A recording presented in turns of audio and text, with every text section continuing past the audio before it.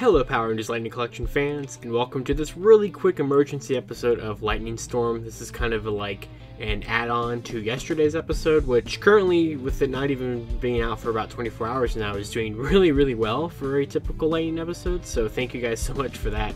But uh, yeah, more news. so this just happened. It just happened on Twitter like not even 20 minutes ago. I don't know if anything else is going to come from it. I already kind of did my usual searching after we, we find something like this.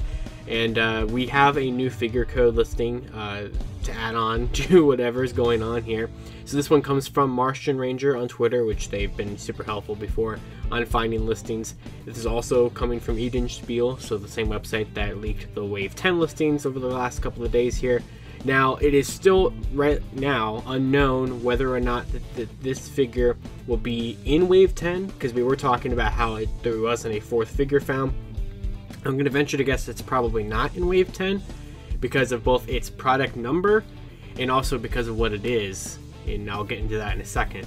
So here's what it is. so this is going to be figure number uh, F3157. So this is going to be like almost 100 numbers above Wave 10's codes. So that makes me think it's not in Wave 10 because the number wouldn't be that high for Wave 10, I would think. So this actually might be a Wave 11 figure, which is pretty insane when we think about that because Wave 11 wouldn't be out until probably December of this year uh, at the earliest or somewhere around that time frame.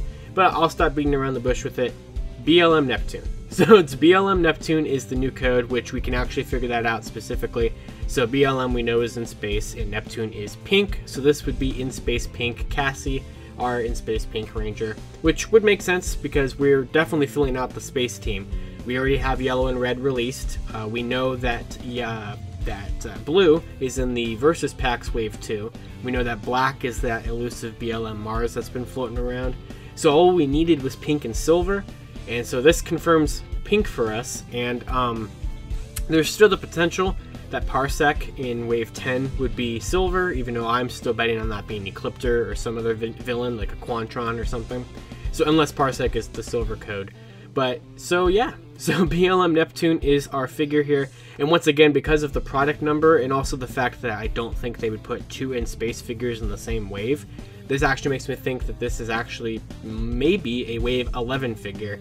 We know that it's in a wave because the number before the E5906 number is a number used for case assortments for waves. So if you ever see that number in front of a listing, you know it's going to be in a wave and not some kind of store exclusive or some kind because they can, they have their own special numbers for that when they are just a standalone figure. So this is a figure in a wave, um, but it's probably wave 11. Like I said, I did some number looking around it.